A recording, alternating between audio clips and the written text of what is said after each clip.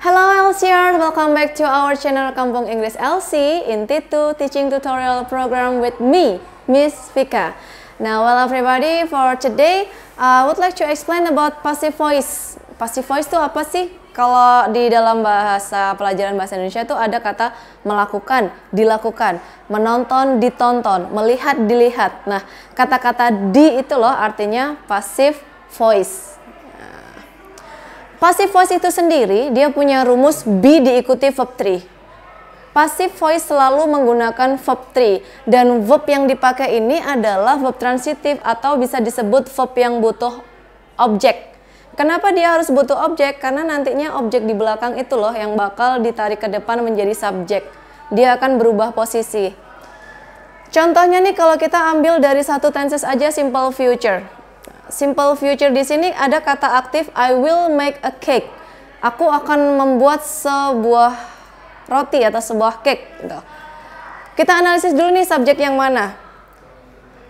I di sini jadi subjek, make di sini jadi verb, verb satu tepatnya dan a cake di sini loh dia jadi objek. Nah, ketika dia dirubah menjadi pasif nanti, maka rumus simple future will plus verb satu ini dia akan dikawin silangkan dengan rumus pasif yaitu be verb 3. Hasilnya adalah seperti ini. Verb 1 ini nanti akan dikawinkan dengan be maka dia akan menjadi be. Ini adalah rumus pasifnya.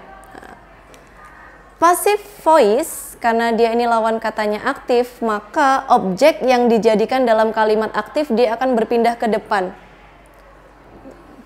A cake.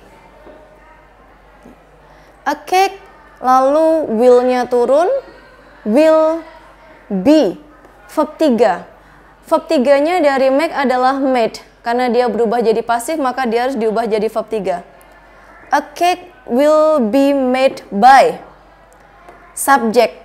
Subjeknya di sini I, tapi ketika dia ditarik ke belakang, ditarik setelah verb, maka dia akan pindah posisi jadi objek. Maka dia akan menjadi by me. Nah, I will make a cake. Aku akan membuat sebuah kue.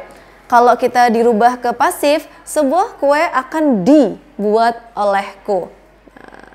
Sekalipun nih teman-teman, a cake ini berasal dari awalnya adalah objek, ketika dia sudah pindah di depan, dipindah di depan sebelum verb, maka dia tetap disebut sebagai subjek dia tetap namanya adalah subjek sedangkan I itu nanti ketika dia di belakang dia akan berubah menjadi agent pelakunya nah.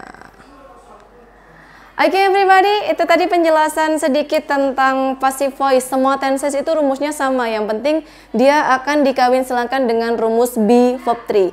Remember, passive voice always use verb 3. Okay, so that's all about my explanation. Don't forget to like, subscribe, and share this video. If you have any question or request, please comment below.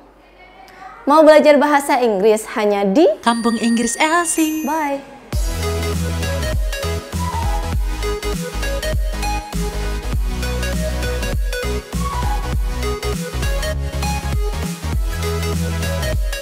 Kampung Inggris Elsie.